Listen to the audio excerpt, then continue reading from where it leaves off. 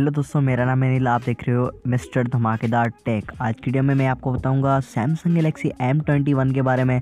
अब जैसा आप सबको पता होगा सैमसंग जो है ना बहुत ही ज़्यादा बड़ा ब्रांड था 2015, 16, 17 के टाइम पे 18 के टाइम पे भी।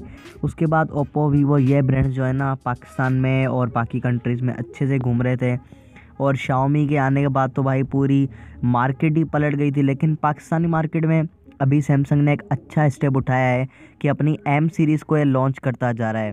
तो आज हम बात करेंगे एम ट्वेंटी वन के बारे में, और सीरियसली यार मैं बताऊँ ना, ये मुझे बहुत ज़्यादा पसंद आया है। पहले बात करते हैं इसके डिस्प्ले के बारे में। इस फ़ोन में आपको सुपर एमोलेड डिस्प्ले देखने को मिलता है। बैक इन 2018 हमें ये सुपर एमोलेड डिस्प्ले सिर्फ़ सैमसंग ही देता था, बाकी ब्रांड मेंशन ही नहीं करते थे। और उसके बाद यहाँ पर जो है आपको नॉच वाली डिज़ाइन में जो है ना डिस्प्ले देखने को मिलेगा 6.4 पॉइंट इंचज़ का 1080 पिक्सल्स वाला, और यहाँ पर कॉर्निंग गोला ग्लास थ्री की प्रोटेक्शन लगाई गई है according to G S M arena back की डिज़ाइन की बात करो तो बैक में जो है ना ट्रिपल कैमरा सेटअप है और यहाँ पर आपको 6000 थाउज़ेंड एम एच की बैटरी देखने को मिल जाती है। 15 वोट की फास्ट चार्जिंग है और टाइप सी केबल होने वाली है। कैमराज भी बहुत ज़्यादा तबाही है इसकी। 48 मेगापिक्सल का बैक पे मेन सेंसर है 8 मेगापिक्सल का अल्ट्रा वाइड और यहाँ पर दो मेगापिक्सल का डेप सेंसर लगाया गया है। अब मैं बात करूँ फ्रंट कैमरा की। फ्रंट में आपको 20 मेगापिक्सल की सेल्फी देखने को मिल जाएगी और बैक कैमरा से आप 4K रिकॉर्ड कर सकते हो।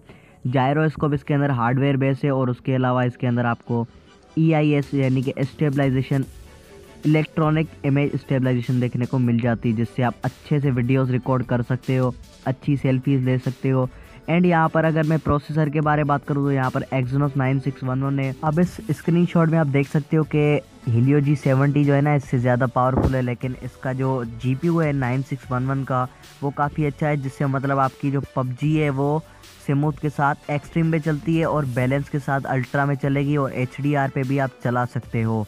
तो मतलब पबजी के लिए भी काफ़ी अच्छा ऑप्शन बनने वाला है। चार जी बी चौंसठ जी बी वेरियंट है। डुअल सिम सपोर्ट करता है फोर के साथ और मेमोरी कार्ड भी आप लगा सकते हो।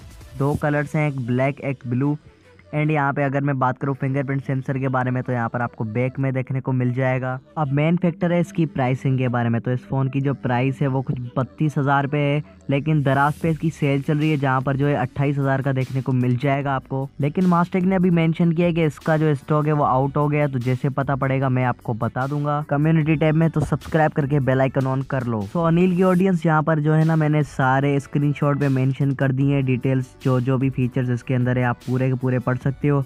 Storage U F S two point one है तो काफ़ी अच्छी रीड एंड राइड स्पीड आपको देखने को मिल जाएगी। फोर के रिकॉर्डिंग कर सकते हो जायरो ई एस दोनों है। छः हज़ार एम की बैटरी है, पंद्रह वोट फास्ट चार्जिंग है। आई लव दिस डिवाइस अगर आपको हैवी गेमिंग करनी है तो इसे आप कंसीडर कर सकते हो। अगर आपको अच्छी स्टोरेज ऑप्शन चाहिए तो दूसरे फ़ोन को कंसीडर करना। अगर आपको अच्छी कैमरा चाहिए डिसेंट रीसेल वैल्यू चाहिए और आपको पता है यार सैमसंग जैसा ब्रांड है तो आँख बंद करके बंदा ले सकता है इस फ़ोन को। तो I really love this device आपको एक ऐसा लगा कमेंट ज़रूर बताना। एंड वीडियो पसंद आई तो इसे लाइक करें। कमेंट्स में अपना ओपिनियन ज़रूर शेयर कीजिएगा। And thanks for watching